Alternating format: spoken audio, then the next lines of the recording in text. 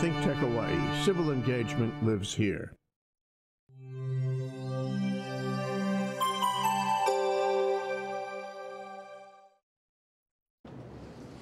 Aloha, it's Thursday at 3 o'clock, another day for Condo Insider, our show for association living for board members and owners.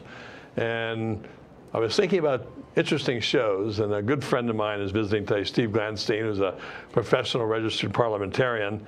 And I decided to do a show, what I'm going to call horrible annual meetings lessons learned because i think you and i steve have seen it all at one point or another and it, it amazes me some of the things we've seen but welcome to the show and Thank you, remind everybody who you are Yeah, I'm Steve Glanstein. I'm a professional parliamentarian. I go to a lot of condominium community association meetings, a few church meetings, and an occasional dog club meeting. Well that's exciting yeah i don't know what to say about that Well, generally they're meetings with trouble or expecting trouble. So, so here's my thought for the show. It's you know we, we're a 28 minute show. The first half before we take a break, I thought we'd take away some of the common problems of annual meetings, things we see, and I'll ask you about them.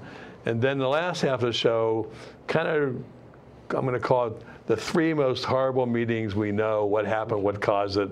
And did we learn any lessons other than do not go to it? you know. So let's talk about an annual meeting, about the common problems.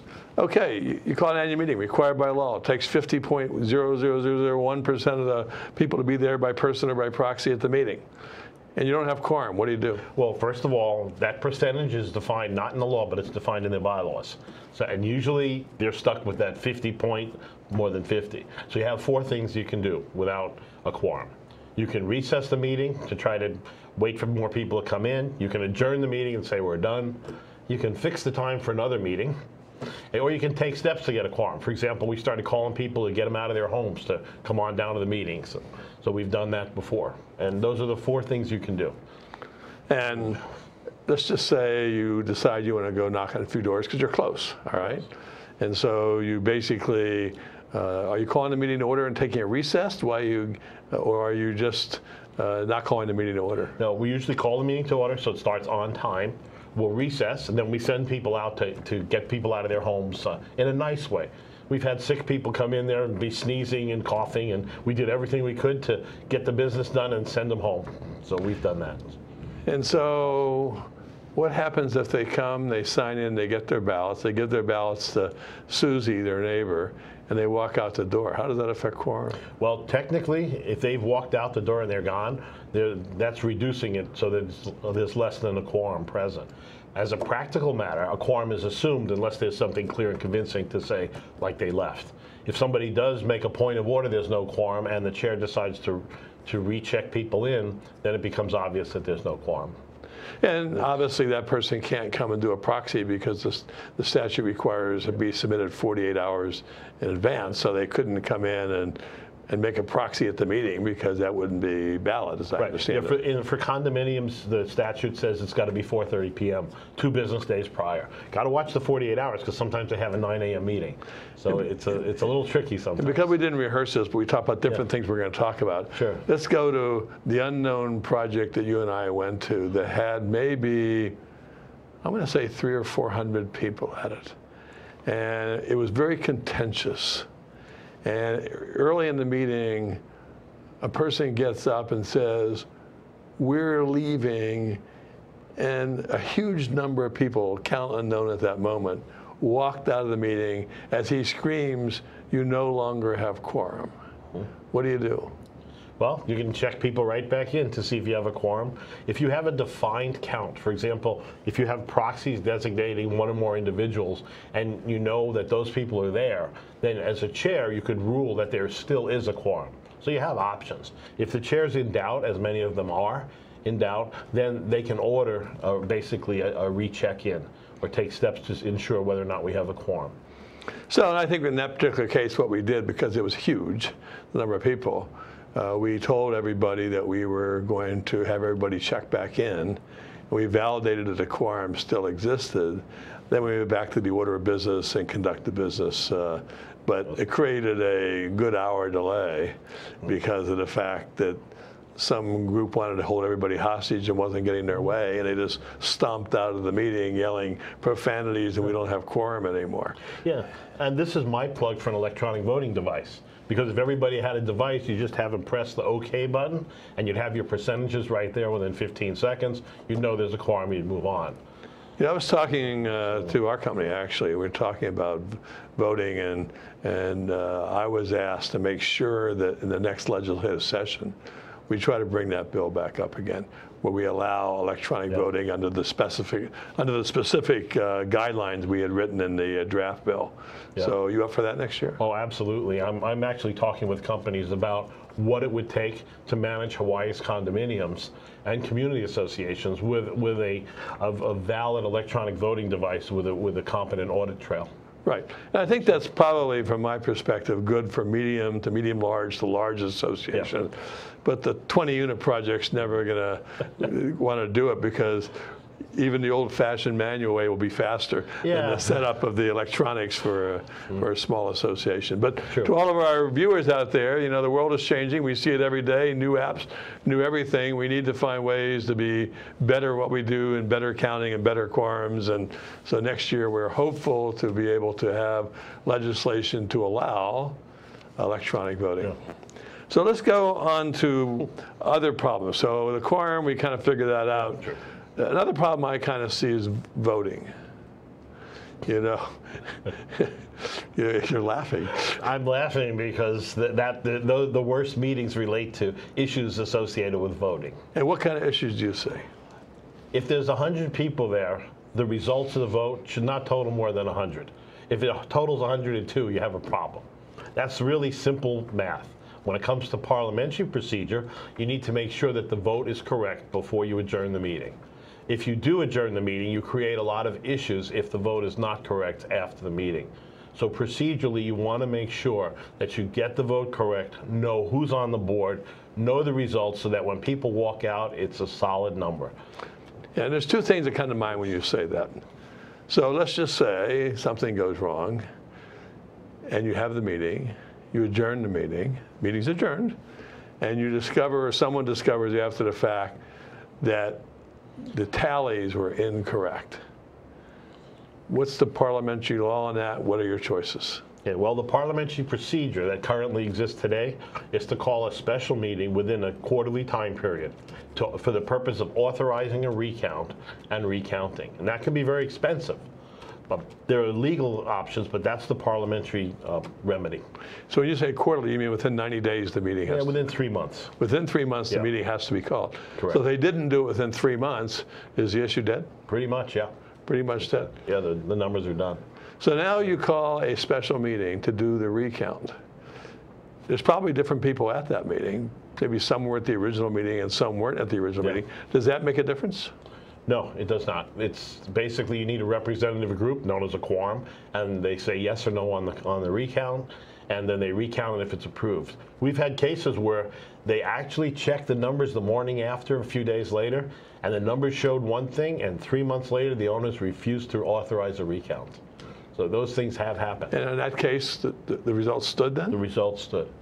I seem to remember you and I, I- we drink a lot after these meetings, so I'm not sure we remember all the facts exactly correctly. I don't drink that much. We, we've seen a lot. Well, okay, I drink your share. Yeah, yeah, but I seem to remember that we went to a big meeting, and there was a board member there that had a huge number of proxies. And we took the recess for voting. He got really excited what was going on, and he forgot to vote his proxies. And then all of a sudden, we closed the polls, and then he said, "Whoops, I forgot to go my proxies." Remember what? Do You remember that? Um, I've had about three cases like that. If they forget to vote after the polls are closed, but before the results are announced, then by a majority vote, they can reopen the polls. So majority of those in attendance could Present and, and voting. and voting could reopen Could the poll. reopen the polls. Usually owners will allow that to happen. There's a bit of a laugh about it because someone's embarrassed. There's not a problem during that period of time, in my experience. It's after the results are announced, that's another story. Well, in the case that I seem to remember, I don't know if the results would have been announced or not, but tell us if the results have been announced. The one that was most recent, the results were announced because the guy had been talking in the back with other people. And then he came in as I was working on other business. He came, hey, wait, I forgot to vote, et cetera, et cetera. And I, I said, well, sir, we've announced the results of the vote. The only way that we could legitimately allow you to vote, since you were, you were in the room, you were here, would be to have unanimous consent to, to allow your votes to be counted. And there were objections to it. And as a result, he did not get elected to the board. Yeah, the one I'm thinking of, which is not that case. Uh, uh, I think the results hadn't been announced. Yeah. Uh, you asked the assembly, the people there present and voting, whether they could reopen the polls, he could vote. And they said no. and so he, he didn't get on the board again because probably my advice to uh, people out there who have proxies and who are in the hunt to be elected, when you take a recess to vote, please vote. Yeah, vote. You know, We've had the whole board forget to vote. And they're very embarrassed when we opened up the polls because sometimes the failure of a large proxy holder to vote can affect the results such that nobody gets elected. So you have to, to be real considerate of that. Well, let me add one more twist to it. And I happen to know this is a current problem out there. So you did all that, and you had the election, and at the end, three directors were elected, and they were supposed to be one for three years, one for two, and one for one. Right. But they all got exactly the same number of votes. And they would not agree on who gets the three, two, and one. And then the meeting was adjourned with that matter not being resolved. What do you have to say? I, what I have to say is to go back to my first comment. Don't leave the meeting, don't adjourn the meeting without knowing exactly who's on the board. Which leads to the second comment don't run out of ballots, reballot. Because if you close that meeting without a complete election, those three did not get elected at that meeting. So that leads you to a further analysis of what's in the bylaws. You've got to do study. You don't even know walking out of that meeting whether they're on the board, some of them are on the board or not. So it goes back to that first one. You don't close that meeting without knowing who's on the board, even if you have to reballot. We've had them reballot four or five times and continue the meeting after they couldn't decide who they wanted on the board. So those things have happened. So if, if the three people were friendly, and one said, I'll take the one year, I'll take the two year, and I'll take the three year, could someone make a motion? I make a motion that with this tie, we elect John the three, Fred the two, and Sue the one, and, and resolve it on a single ballot like that? There's a two-part answer. One is if the bylaws require a ballot, then you'd have to vote on that by ballot. If the bylaws do not, um, there's an easier answer. You ask for you ask for someone you ask for a volunteer for the shorter term, and usually if there's somebody there, they'll volunteer for the shorter, and then you obtain unanimous consent to have them elected for those terms. But again, if the bylaws require a ballot, even that motion would have to be done by ballot. But you could make a single motion saying, elect, because maybe everybody's in agreement, it was, it's more friendly than some of the ones I see that are not so friendly. You know, that uh, you could, you could do that as a, as a, as a motion, I elect, I move to do A, B, and C uh, for these terms, and uh, you wouldn't have to put their names again and have the percentages. And, and recognize somebody might object to that because when you're voting by ballot, you have the right to do a write-in. So there, there are rights to do a write-in there. However, it seems to me that even you, even though it's a, a ballot requirement, they've already elected these people. They're not sure what terms. It's incomplete. A motion related to that would be fine, provided it's voted by ballot. Couple, we're we're gonna take one more question, then we're we're gonna go to break, then we're gonna talk about horrible meetings and lessons learned, for lack of a better word. So, to me, a common misunderstanding is, is a forum a part of the meeting? No, it's not. You mean an owner's forum? Right. No, it's not. Is it included in the minutes, the No, discussion? oh, definitely not. Okay. So on that note, we're learning about trials and tribulations of being a parliamentarian and a property manager. We uh, each own flak vests and helmets and have a thick skin, but we're going to be right back after a short break.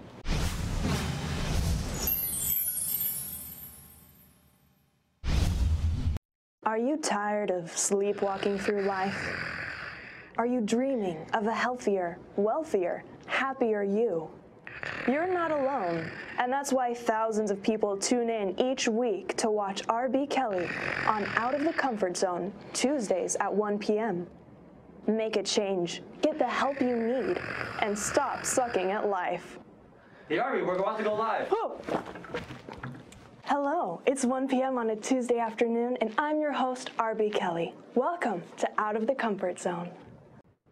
Hi everyone, I'm Andrea Gabrieli. I'm the host for Young Talents Making Way here on Think Tech Hawaii. We talk every Tuesday at 11 a.m. about things that matters to tech, matter to science, uh, to the people of Hawaii with some extraordinary guests, the students uh, of our schools who are participating in science fair. So Young Talents Making Way every Tuesday at 11 a.m. only on Think Tech Hawaii. Mahalo.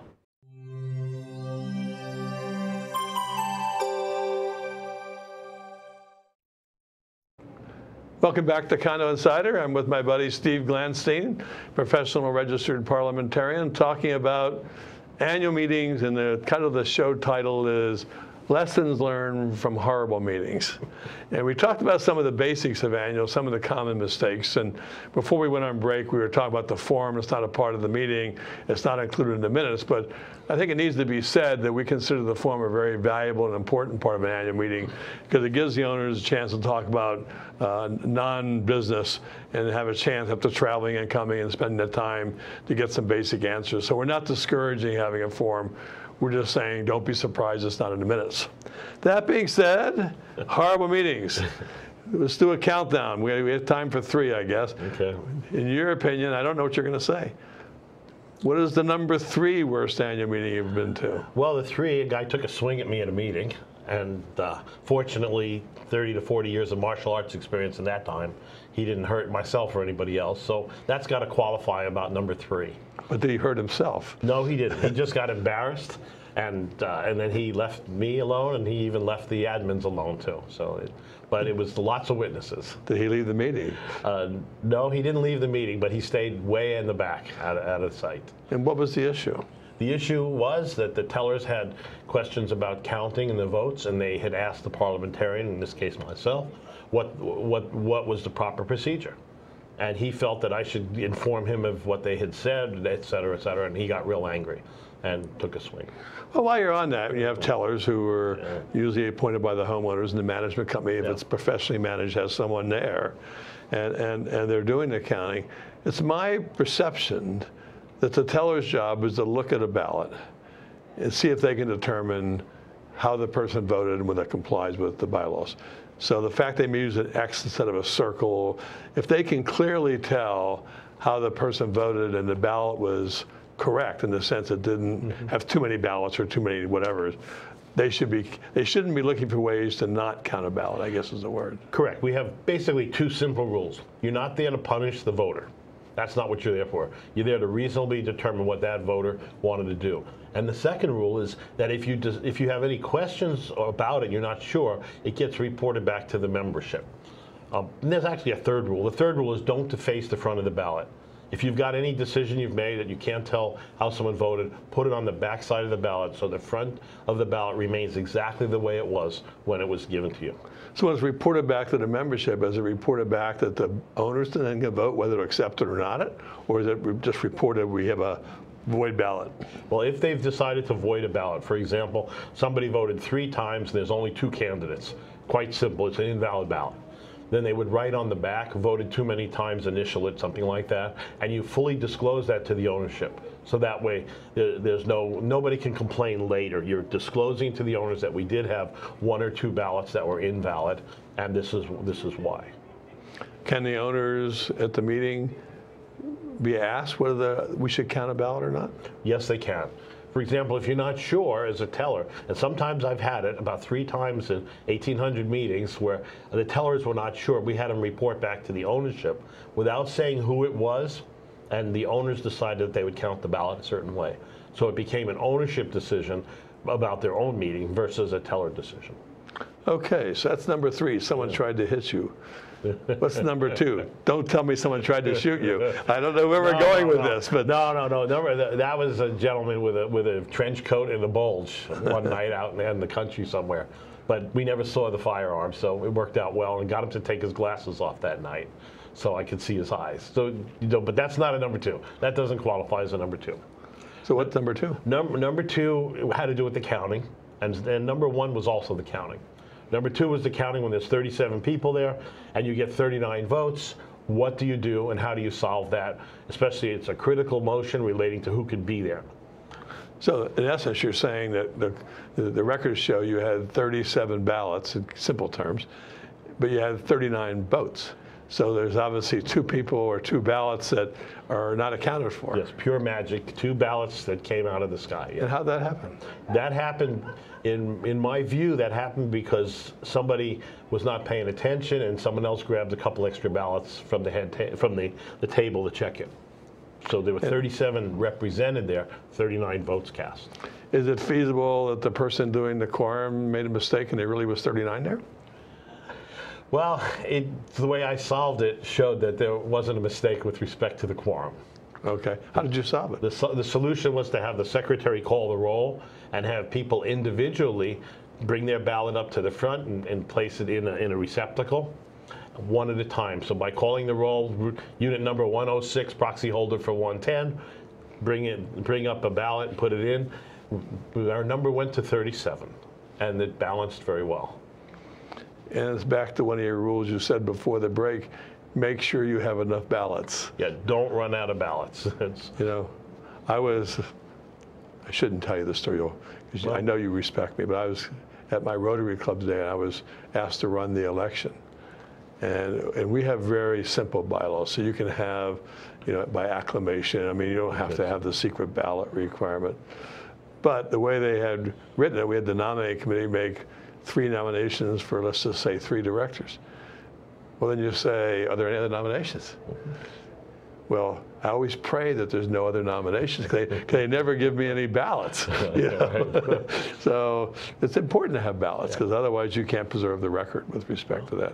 Yeah, and well, with condominiums, it's it's critical because the voting is not individual owners. You can't just have them raise their hand. You've got proxies, you've got percentages, so it can get complicated. And we've run out of ballots on a Saturday morning on Molokai. If you've ever tried to, to go to a print shop on Molokai and Kaunakakai on a Saturday to get more ballots, it's not a very fun process. Yeah, it's probably been better if you just made more in the beginning versus the time loss, people getting angry, and, and all the other things that, that happen on that type of issue. All right, number one, what is the worst horrible meeting you've ever had? Well, I get it really does relate to county. Uh, you know, you've you've had some some long ones. I've had ones where they couldn't balance the count to something like quarter to midnight at night, so they went for something like six hours to get the count right. And I put my foot down. I insisted that they work it and, and get this right because I did not want these people to have to continue the meeting. People had flown in from all over the country to that type of meeting.